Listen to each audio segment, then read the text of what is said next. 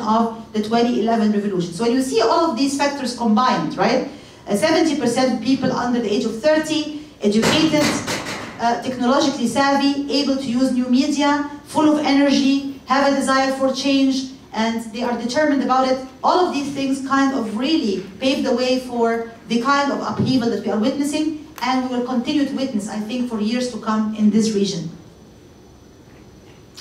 So this is one of the young activists, his name is Wael Ghonim. He was a Google executive, and he became famous for a certain Facebook page, we'll talk about it in a moment, but also he was detained for 12 days in the midst of the Egyptian revolution, which increased his visibility. Uh, people became aware of who he is, and he had his moment of fame in the midst of the revolution. He is here uh, shown in the middle of Tahrir Square, rallying and protesting and calling people to rally and to protest against Mubarak's regime. Together with his friend Abdul Rahman Mansour, Wael Ghonim and his friend Abdul Rahman Mansour created the Facebook page called We Are All Khalid Saeed, which myself and other scholars wrote about. We have written academic articles on this particular Facebook page. This is what the page looks like, the Facebook page We're All Khalid Saeed. It is named after this young, handsome gentleman, Khalid Saeed. He was a 24-year-old accountant from the city of Alexandria. His only crime was that he was you know, courageous and brave enough to upload a video on YouTube which revealed some aspects of police corruption, and he paid his life as a price for this. He was dragged from an internet cafe in Alexandria and beaten to death brutally by some of the police officers and security officers. And pictures of his face before and after this brutal attack became very iconic and became a very big trigger for mobilization and political action in the Egyptian revolution. People saw his face before the attack, and then they saw very gruesome graphic images of his completely deformed face after the attack, and they said, we are all Khalid Saeed. In other words, this is not just about this young man who paid his life. We are all in the same boat. We will not accept this kind of brutality, this kind of humiliation, this kind of violation of human rights anymore. So the page started to have hundreds of thousands of people hundreds of thousands of people became uh, you know, fans of the page, they liked the page, and it started to have a very, very big impact on igniting and amplifying voices of protest in the Egyptian revolution. And what about women? Why women's leadership? Where does the role of women or women's leadership also play or come into the picture here? Uh, women's activism in the Arab Spring was very visible. Uh, women played a very visible role in the Arab Spring. Many took part in non-stereotypical gender roles. This is very important. In other words, they were not just nursing, nurturing, or supporting others, but rather they were being in the front lines of resistance themselves, risking their own lives and facing the risk of injury, arrest, or even death. So they were not just like, oh, you know, just helping the man behind the scene. No, no, they were really in the front lines. Many of them fell as martyrs. They paid their own lives for freedom. Many of them were arrested, detained, harassed, you name it. They paid the full price for freedom and for democracy that they were calling for.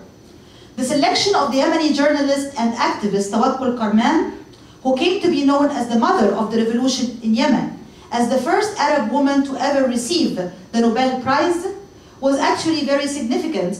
It signified the international recognition for women's role in the Arab Spring. So as some scholars, including myself, uh, wrote about this particular important, significant event, we saw it as a nod to the Arab Spring in general, but also a nod to women's role in the Arab Spring in particular. The international community took notice of the role that women played very boldly, very courageously in the midst of the Arab Spring movements.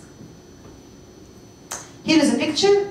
Again, I love pictures because they're very telling and very powerful. This is a, a, very average, um, you know, middle-class Egyptian woman, and she is in the heart of Tahrir Square in the midst of the Egyptian revolution. And when Wael Ghonim, the Google executive I told you about, was detained for 12 days in the midst of the Egyptian revolution, she was holding this banner that said, uh, bring Wael Ghonim back alive. Another victim of Mubarak's emergency law. Who will be next? So pictures like that of just average middle-class women going out in the street and boldly protesting, holding banners, making their voices heard, asking for change, were very, very powerful and iconic images in the Egyptian revolution. I also have some examples here. This is Nawara Nigma. She's a prominent blogger uh, and political activist who used her own blog and her own Twitter account in order to rally people and to pave the way for political revolt and upheaval. She is one of the bloggers that I talk about in my book, Egyptian Revolution 2.0, Political Blogging, Civic Engagement, and Citizen Journalism. She is one of the five bloggers who are studied in this particular book.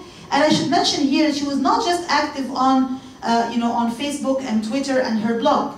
She was also very active on the ground you know, in the heart of Tahrir Square, in many parts of you know, the streets of Cairo. She was there helping people and going out and rallying and protesting. And she has hundreds of thousands of followers on her blog and also her Twitter account.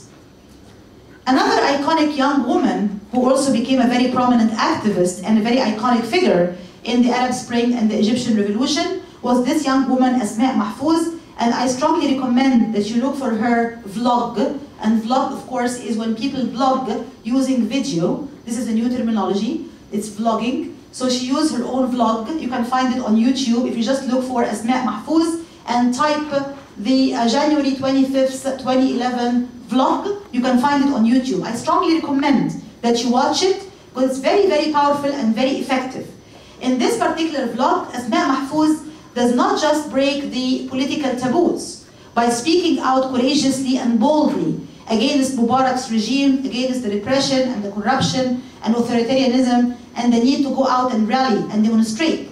She also breaks social taboos by claiming that women have every right to go out and protest side by side by, with men and attacking the men for saying, oh, what are women doing out there in the street? They should not be on the street. They should not be protesting. So she said in her video or her vlog very powerfully, instead of blaming women for going out in the street and protesting, why don't you become man enough to come out in the street, protect the women, and also call for your own rights and protest against Mubarak's repressive regime.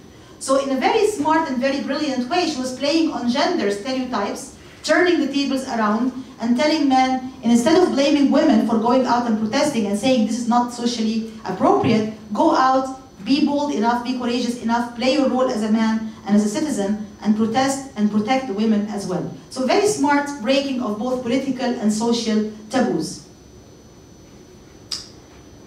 And really, uh, women's role in particular in the Arab Spring raises a very important concept, the new concept of cyber feminism. The term cyber feminism refers to a process whereby women deploy new forms of communication, mainly online communication, to advocate for their own rights, causes, and demands, and to fight various forms of discrimination, injustice, or repression. It could be uh, seen or considered as a sister term for the broader term cyber activism. It stresses the role of new media in serving the needs of women and helping their causes. So women are trying to use social media and new media now to raise awareness, not just about political issues like democratization, protesting against the regimes in power, and calling for a transition to democracy and freedom. They're also raising awareness about women's issues, the need for women's representation in political life, their visibility in the public sphere, their rights to have equal uh, you know, political, social uh, rights, uh, right for education, for work, uh, also against domestic violence, against sexual harassment, and so on. Very, very strong, very powerful campaigns have been launched and are still continuing to be launched in many parts of the Arab world today. Uh, basically, when women use the cyberfeminism process, they used it for three main functions. The functions of mobilization, documentation, and education. Mobilization means rallying support for certain causes which are important for women, collecting uh, the needed funds and securing the needed resources to help them. For example, women who have been rape victims or refugees in a country like Syria. We know that this has been a very, very detrimental, tragic humanitarian crisis where there have been many, many uh, hundreds of thousands dead and millions of refugees. Women started to create Facebook pages and online groups in order to raise awareness about what is happening in Syria and how women have lost their uh, you know, male supporters in the family. How can we help women who are rape victims? How can we help women who are facing sexual harassment? How can we help women who are refugees and so on? And also documentation, using their own cameras and cell phones and even pens and paper sometimes to show the whole world incidents of brutality, humiliation, and harassment against women. Again, this is the role of citizen journalism as we talked about it before, women were using their cell phones. One activist that I interviewed for one of my papers said to me, I always go in the middle of Tahrir Square armed with my cell phone. If I see anyone attacking a woman or harassing her, I simply use my cell phone and my camera as a weapon in the person's face. Right? So this is a very effective weapon to use because the whole world can see this picture in a few seconds, right? Education, raising awareness about women's issues and discussing them to increase their significance and visibility in the public sphere. A Syrian radio uh, anchor woman who has her own radio show told me, I'm, I'm trying to use my own radio show as an example of positive media to tackle women's issues, to tell people, wake up. Women are half of society and they give birth to the second half of society. They cannot be marginalized, they cannot be ignored, they have to be given their full rights and it's the responsibility of the entire society, both men and women, to give them the rights. So she's using it as a tool for education and for raising awareness about women's issues. However, having said all of this, this is all rosy and beautiful and fabulous, but there have been some changes, unfortunately, in the political and media landscapes in Egypt, specifically after what happened in June 2013 and that deserves some attention. We cannot ignore the fact that there have been some changes on the ground that took place in Egypt since 2013, and they had an impact on both the political and media arena uh, simultaneously.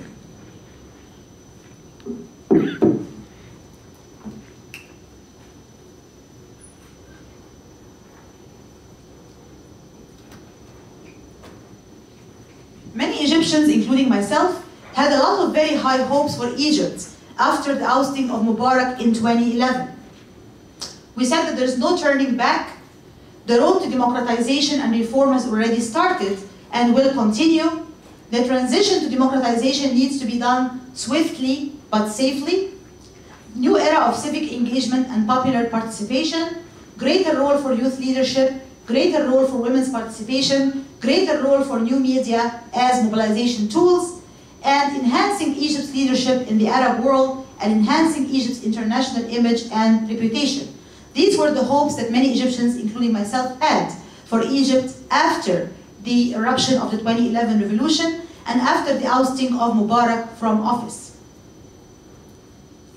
However, the road to democratization or democratic transition and reform in Egypt did not move forward smoothly as hoped for Although the election of Mohamed Morsi as the first democratically elected president in Egypt's history was seen as an important and unprecedented step in Egypt's modern history, he was overthrown on July 3, 2013, in what was described by some as a military coup, by others as a popular uprising, and by some as a popularly backed coup.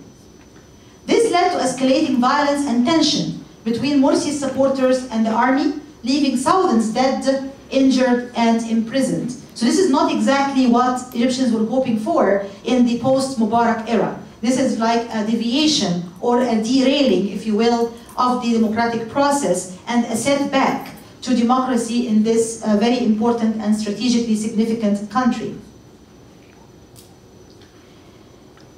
Uh, also here, there are now current changes and challenges which are facing Egypt today.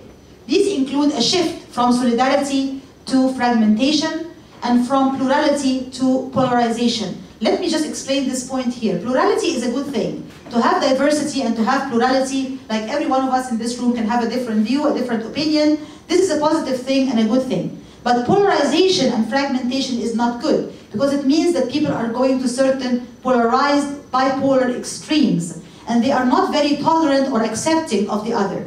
And unfortunately, this is exactly what's happening in contemporary or modern Egypt today. We are seeing now people are taking stands. They're very much against each other. Uh, if you are not with me or against me, my way or the highway, there is this kind of very, very deep division, fragmentation, and polarization, which has some kind of intolerance towards the other.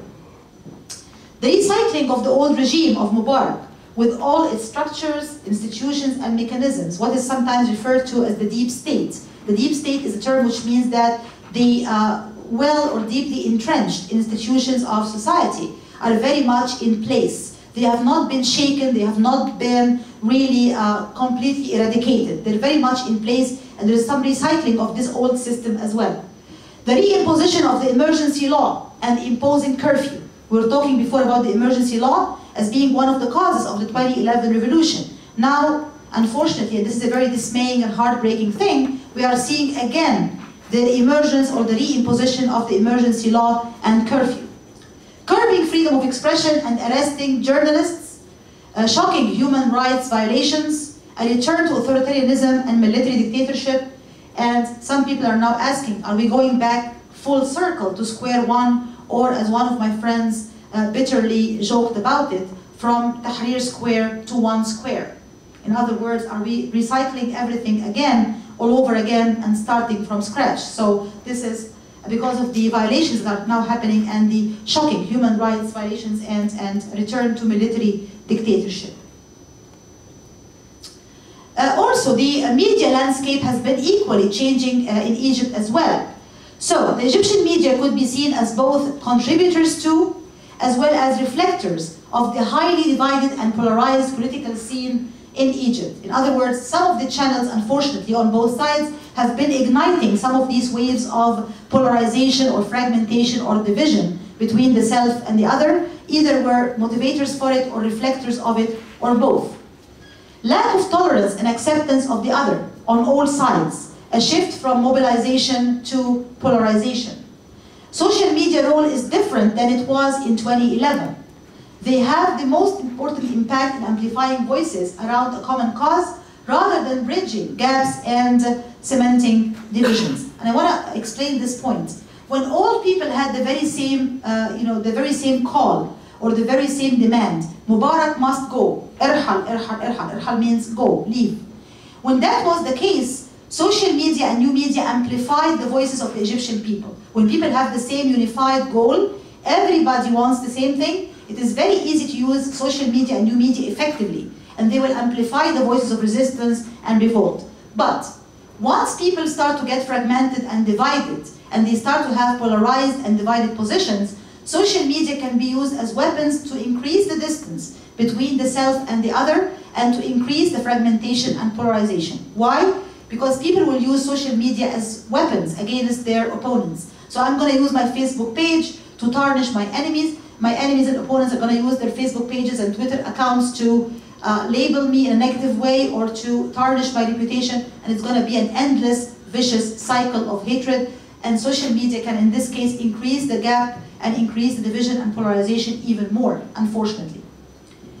Less media freedom, closing down channels and imprisoning and threatening media people. So if you remember, we were saying earlier, some of these techniques were used by the Egyptian regime during the 2011 revolution when they were closing down the Al Jazeera office, arresting some of the journalists, preventing foreign journalists, and so on. We are seeing very much the past or